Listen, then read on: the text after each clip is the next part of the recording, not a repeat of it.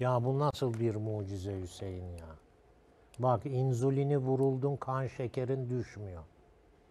İşte ilacını kullanıyorsun. Yani ama kan şekerini düşüremiyorsun. Zorlanıyorsun. Bunu alacaksın uzunlamasına. Ortadan ikiye böleceksin. 5-6 tanesini 150 mililitre suyun içerisine oda sıcaklığında sallandır. Kalsın içinde akşamdan sabaha ve sonra bunun suyunu iç. Bak o şeker nasıl düşüyor. Muhteşem bir şey.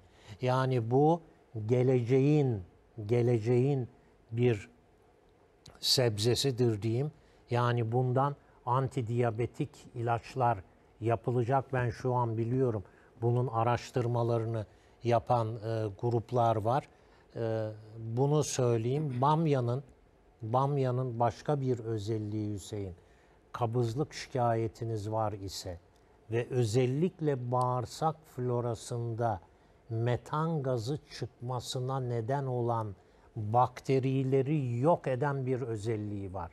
Metanoid bakterileri yani metan gazı evet yani onun için e, mikrobiyotada yani bağırsak florasında metanoid bakterileriniz fazlaysa bu ağır koku da yapar biliyorsunuz.